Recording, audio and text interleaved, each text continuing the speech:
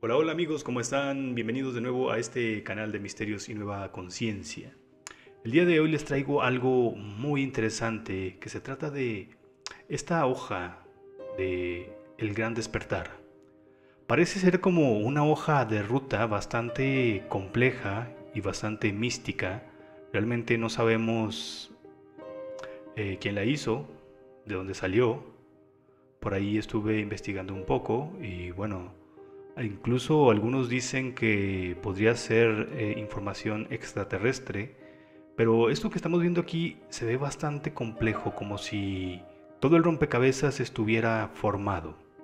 Este video no está preparado para nada en absoluto, vamos a ir platicando y vamos a agarrar varios puntos de, de esta hoja de ruta de El Gran Despertar.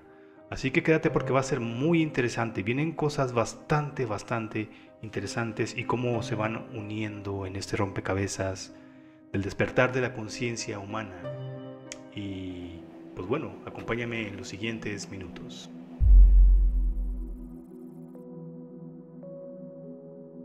Primero que nada, bueno, vemos aquí el título El Gran Despertar en inglés, curiosamente, y todo lo demás en español. No sé si exista también esta hoja en este idioma. Pero lo primero que vemos aquí, se los voy a ir pintando aquí de color rojo, es esto. Dice, aumenta tu servicio a los demás y sé más amoroso contigo mismo y con todos para elevar tu, elevar tu nivel de conciencia vibratoria. Dice, perdónate a ti mismo y a los demás, liberando así el karma. Esto cambiará la vibración del planeta, elevará la conciencia compartida de la humanidad y cambiará la humanidad eh, una persona a la vez. Lo primerito que nos dice, después, trata tu cuerpo como un templo y cambia a una dieta vibratoria más alta para ayudar el proceso. Es lo primero que nos encontramos con esta hoja de ruta.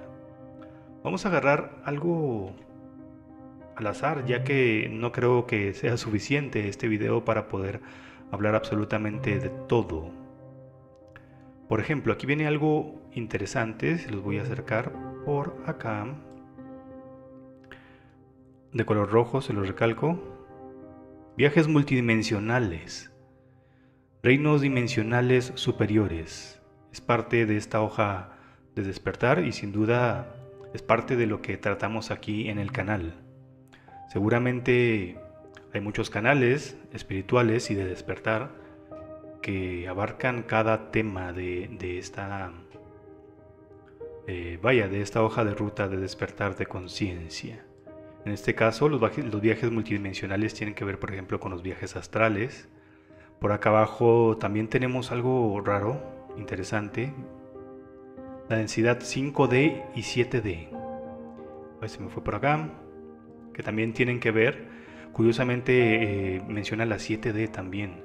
Y también se refiere a densidad y no como estamos acostumbrados a decirlo, que es como dimensiones, que vendría, vendría siendo lo mismo. Densidad viene siendo el nivel de frecuencia.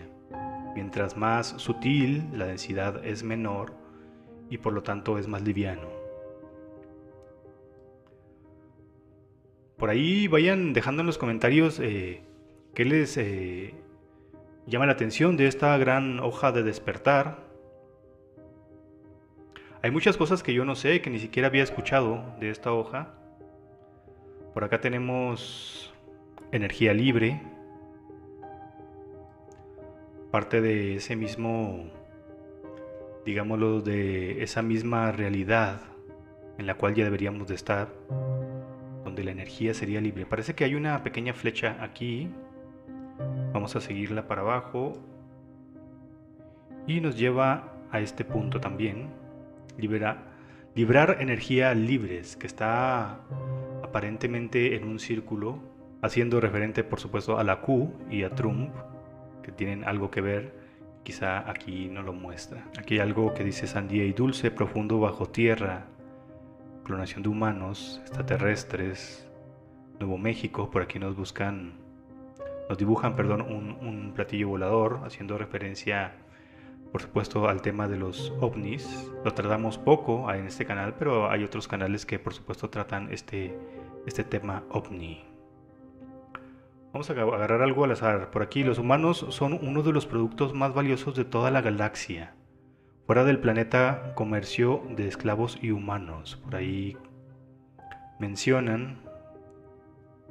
Se dice que la raza humana está compuesta de todos los, digamos, de todas las, los ADNs de las razas extraterrestres, que son 22 eh, me parece, según lo recuerdo. Entonces se dice que el ADN humano es el más completo que se haya hecho antes eh, sobre el cosmos, sobre la humanidad, perdón, sobre, sobre la Tierra, el universo. Es interesante. Vamos por acá abajo, algo que nos interesa muchísimo y que tratamos mucho en este canal, que es en esta parte de, aquí de, eh, de, la, de, la, derecha, abajo a la derecha. Y podemos encontrar por acá la glándula pineal y el tercer ojo. Vamos a hacerlo un poquito más grande para que... Tiene mucha resolución esta, esta hoja, como que le hicieron con muchísimo cuidado y, bueno, es algo que no se hace, no se hizo de la noche a la mañana. La glándula pineal, aquí está, y el tercer ojo. Una clara referencia, por supuesto, a los poderes del tercer ojo y los secretos del cuerpo humano, del ser humano y algo que tratamos constantemente en este canal, también en el de Yo Cósmico, varias meditaciones para despertar esta pequeña glándula que es el tercer ojo. ¿Qué nos sirve? ¿Para qué nos sirve esto? Muchos nos preguntan para qué sirve la glándula pineal. Y esto es como que una percepción, podríamos llamarlo así, diferente a la que estamos acostumbrados ahorita. Esta percepción te da eh, nuevas capacidades, te da, eh, por decirlo de alguna forma, poderes mentales o poderes eh, sobrenaturales, a todo aquello a lo que le llaman los milagros y este tipo de cosas que hacían los santos, eh, está íntimamente ligado con nuestro tercer ojo y nuestra glándula pineal. Es por eso que en los dibujos de los santos, si se fijan, tienen como una especie de halo alrededor de la cabeza y esto es un símbolo o una señal perfectamente clara eh, y referente a la glándula pineal. Por arriba vemos el superalma. Esto se refiere directamente a el superyo. Eh, el superyo es un yo más sabio, por decirlo así, y que se encuentra en otro nivel de frecuencia. Siempre estamos conectados con nuestro superyo. Lo que pasa es que muchas veces con la distracción de este mundo logramos eh, una desconexión con este eh, este ser supremo, que somos nosotros mismos, pero digamos que con un conocimiento más profundo, un conocimiento más espiritual. Cuando nosotros llegamos a esta, a esta vida, nos ajustamos, nuestra frecuencia se va ajustando hasta que llegamos a, digamos que a la vibración adecuada para poder habitar un cuerpo humano. Y todo lo demás se va olvidando por lo mismo de, del propósito, el propósito de venir aquí. Es por eso que olvidamos, pero siempre está esa conexión y el retorno a nuestro super yo vendría siendo como que una referencia clara a que estamos en un estado evolutivo bastante eh, elevado, en el cual llegará un punto en el cual ya no tengamos que regresar a esta tierra. Por acá también tenemos la supermente, que viene íntimamente ligada al super yo, y luego por acá vienen algo que no sé qué es, que dice QHHT, pero dice técnicas de hipnosis de curación cuántica, que también dice que está ligado a la supermente, y también algo por acá que dice los trabajadores de la luz y semillas estelares viajeros índigos. Esto es lo que hablábamos eh, la vez pasada en el... Fue en la serie de El fin de los tiempos, que hay ciertos, ciertas personas especiales que trabajan por la luz, eh, viajeros síndicos, eh, semillas estelares, les llaman aquí, que bueno, todos somos en realidad así, semillas, pero hay unas muy, muy evolucionadas que vienen a hacer un trabajo específico de luz para poder estimular este despertar de conciencia. Yo creo que se refiere a esto y bueno, por supuesto que está ligado a, la mente y al super yo. Estos trabajadores digamos que ya están perfectamente conectados con, con este ser superior y su misión es bastante clara. Todo esto está contribuyendo, por supuesto, al despertar de la conciencia humana. Por acá tenemos cosas más interesantes, también la sanación psíquica. Auras, por aquí escribe también, no se les olvida, está todo incluido en esta página. Me voy a alejar un poquito para que veas que es enorme, es enorme realmente todo lo que estamos viendo en, en esta página. Bueno, decíamos, ya se me fue, me lo acomodo. Por acá tenemos auras.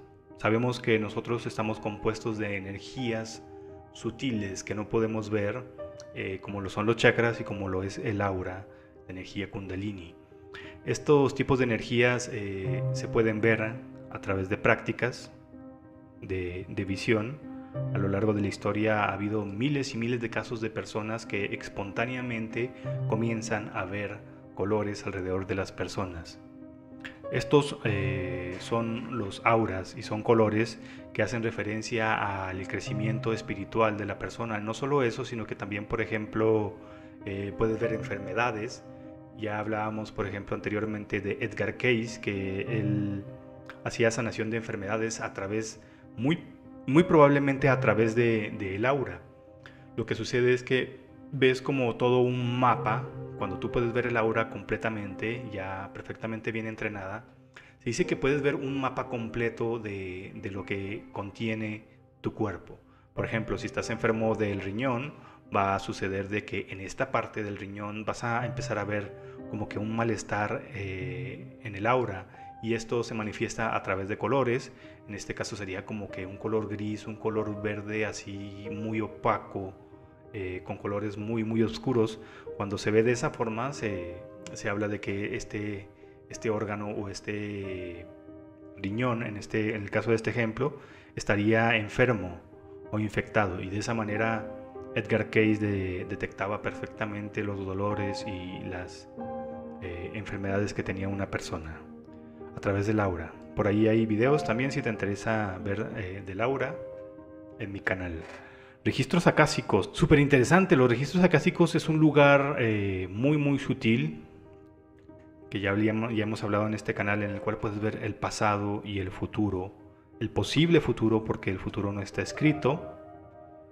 Y por aquí también están eh, escritos dentro de este mapa de despertar de conciencia. Por acá están eh, los viajeros del astral, viajeros astrales. Esto también tiene que ver mucho con el despertar de la conciencia. De hecho, aquella persona que logra hacer un viaje astral realmente es un cambio revelador, en un impulso muy, muy grande en el estímulo de la conciencia, ya que los viajes astrales te te abren un panorama, un panorama completo de qué es lo que sucede, sobre todo con referente a la vida después de la muerte. Mm, te das cuenta de que hay mucho más, de que somos espíritu, pero te das cuenta de una manera tan, tan abrumadora, no sé cómo decirlo, tan real, que terminas eh, con una revelación que cambia para siempre tu vida. Esto fue lo que me sucedió a mí, un viaje astral, aproximadamente a los 22, 23 años más o menos, tuve mi primera experiencia astral y bueno, a partir de ahí eh, fue donde comenzó todo este viaje que termina hasta el día de hoy. Por aquí también los sueños lúcidos, que están íntimamente ligados con los viajes astrales. De hecho, un sueño lúcido es un viaje astral, pero a diferente nivel de conciencia. No se compara en lo absoluto con un viaje astral completamente consciente, ya que eh, es como si estuvieras aquí. El viaje astral es como si estuvieras eh, en esta vida, pero incluso se siente mucho más, más real que esta vida, porque tienes como percepciones más, eh, más claras, más definidas y tu conciencia es realmente brillante, o sea, es una conciencia brillante durante un viaje astral consciente, que también dijimos que es diferente a una proyección astral. Un sueño lúcido está más vinculado a una proyección astral, que vendría siendo la separación del cuerpo, pero el problema aquí muchas veces es, eh, digamos que el recuerdo, el poder eh, recordar o poder obtener toda la información. Por este lado tenemos prana. El prana es eh, una energía de la cual muchas personas han conseguido alimentarse durante mucho tiempo. Eh, incluso ha habido personas que durante años eh, no comen nada, no beben agua siquiera y se alimentan de esto. Sin embargo, esto puede ser peligroso ya que requiere de una gran, gran preparación. Es un cambio completo de, de tu cuerpo, una transformación corporal que hace que no tengas que volver a comer o tomar agua. No es recomendable para las personas, por supuesto, principiantes, sino lo único que va a pasar es que, bueno, vas a, sufrir una desnutrición. Luego viene el ayuno, esto sí que podría ayudar. Se dice que eh, muchas personas lo hacen, que ayunando y meditando en la mañana eh, se obtiene una mente clara, una mente más clara. Y por consecuencia, por ejemplo, la meditación es mucho más provechosa durante el ayuno. Puedes hacerlo, por supuesto, también en un momento ordinario y habitual, pero sí sería bueno de repente eh, experimentar a ver qué sucede eh, en el ayuno. Por acá hay un conejito, no sé qué se refiera, podría ser... Si alguien sabe por ahí, déjenlo en los comentarios. No sé si se refiera a Alicia en el País de las Maravillas, el agujero del conejo. Vámonos por acá, más para acá. Por aquí tenemos un mensajito que dice, todo el dinero conduce a Roma. ¿Será esto cierto? Ya se me fue. Déjenme lo ubico otra vez porque... Ok, aquí está. Todo lo que refiere al Vaticano, por acá en este círculo, ahí pueden ir leyendo. El Vaticano posee todas las monedas del mundo, por ahí algunos, la Biblioteca Vaticana, ustedes mismos léanla porque incluso hay cosas ahí en las cuales podría ser censurado. Acá está también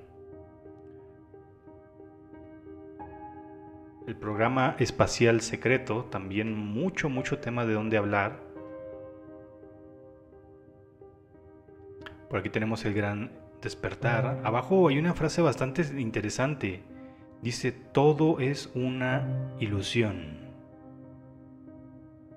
Una frase que hemos dicho en este canal. Ya se me fue. Todo es una ilusión. Aquí está.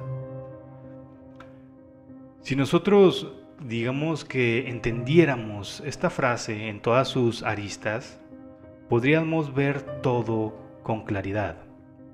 Por ahí había unas personas que, que decían lo contrario, ¿no? dijo, es que no es una ilusión, es una creación divina de Dios. Y realmente es así, sí es así. Entonces, esta frase es compleja de discutir.